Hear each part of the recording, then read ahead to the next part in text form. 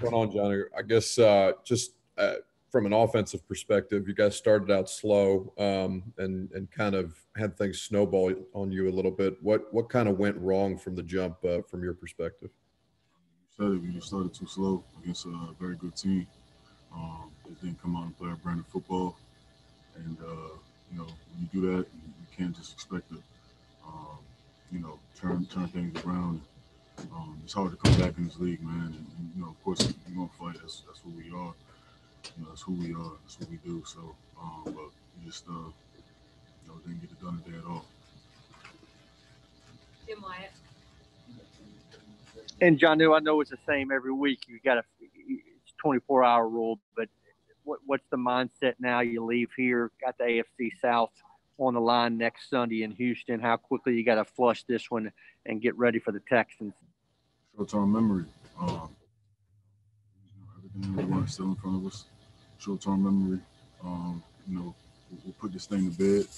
Um, get, you know, get the things corrected that needs to get corrected, and uh, just coming to work um, with the same mindset that we've, we've had all season. Just continue to improve, continue to seek improvement, continue to get better. Um, you know, honest. You know what I mean? And uh, you know that's the we're going to improve. So that's just the mindset that we're going to have. Greg Bates. What were the conditions like to play in? Uh, it was uh, December football in Green Bay.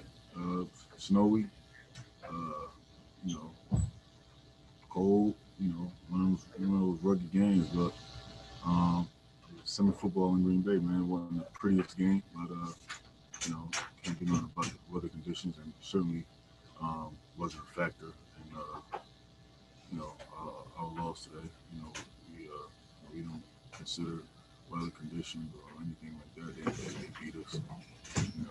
So just uh, got a little better football. Last question, Buck.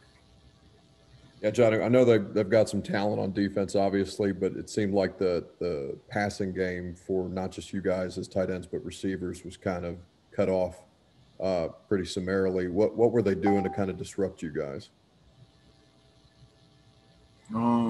Um, we really shot ourselves in the foot. You know, give them all the credit, man. They, played a, hell of a game, a great game. Um, but we didn't play our best brand of football, and you know, didn't.